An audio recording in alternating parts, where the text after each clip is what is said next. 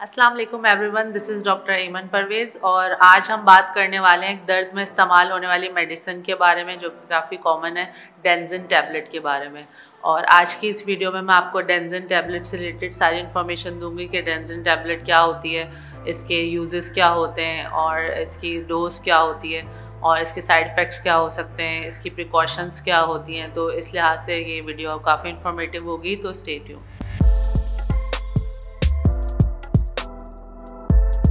सबसे पहले बात करते हैं कि डेंजन टैबलेट क्या होती है। डेंजन टैबलेट जो है वो एक सीवियर दर्द में इस्तेमाल होने वाली टैबलेट होती है जो कि दर्द कम करने में और सोजिश सोजिश ख़त्म करने के लिए यूज़ होती है।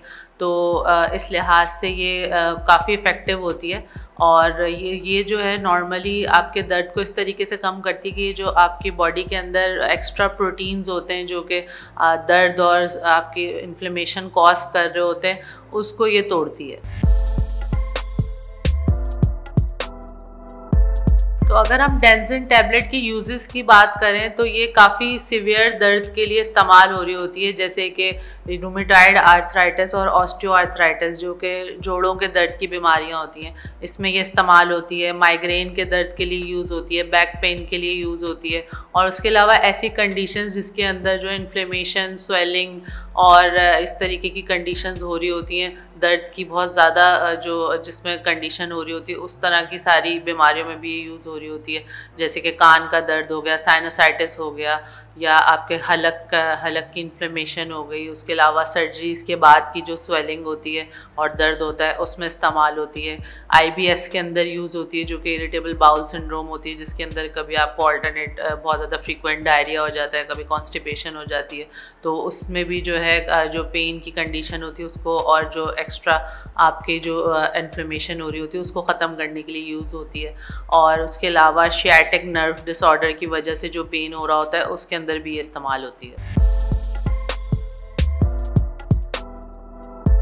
तो अगर हम डेंजन टैबलेट की डोज की बात करें तो यूजली इसका डोज ये होता है कि आपने वन टेन एम की टैबलेट जो है वो दिन में तीन दफ़ा लेनी होती है और यूजली इसको जो है खाने के बाद इस्तेमाल किया जाता है।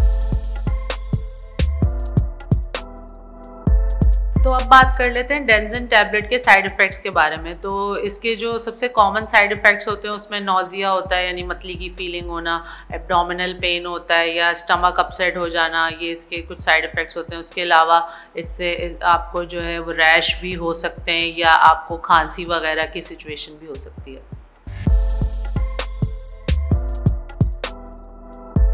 तो अब बात कर लेते हैं डेंजिन टैबलेट की प्रिकॉशंस के बारे में, यानी इसको लेते हुए आपको किन चीज़ों का ख़ास ख्याल रखना चाहिए। तो उसमें नंबर वन ये है कि आपको ये चीज़ पता होनी चाहिए कि आपको इसके किसी इंग्रेडिएंट से एलर्जी तो नहीं है तो आप डॉक्टर से ये ज़रूर डिस्कस करें।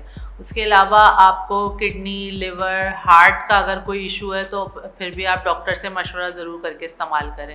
उसके अलावा जो है, आप इसको अगर प्रेग्नेंट और लैक्टेटिंग मदर्स हैं तो वो भी डॉक्टर की हिदायत के मुताबिक ही इसको इस्तेमाल करें।